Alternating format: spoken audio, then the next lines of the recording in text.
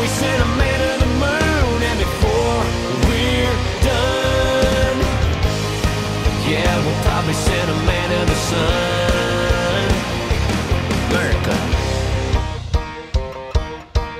Buck.